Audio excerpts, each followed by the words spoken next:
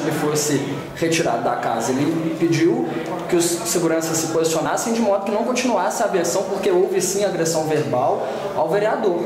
Teve, teve agressão verbal, como teve a outra, passada a outra. O que eu não queria, Ricardo, era isso, que acontecesse, por exemplo, isso aqui.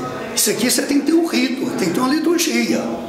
Né? A casa está vivendo momentos de tensão muito grande, tem coisas muito grandes aí, por exemplo, até senador envolvendo nisso.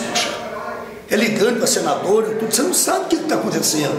O jogo é um jogo assim, muito pesado. É um jogo, por exemplo, assim, que requer assim, muita humildade, muita prudência, muita coerência nessa hora, muita cabeça fria. Aqui ninguém tem vitória pessoal, derrota pessoal. Né? Tem coisas que tão, foram muito acreditas no plano diretor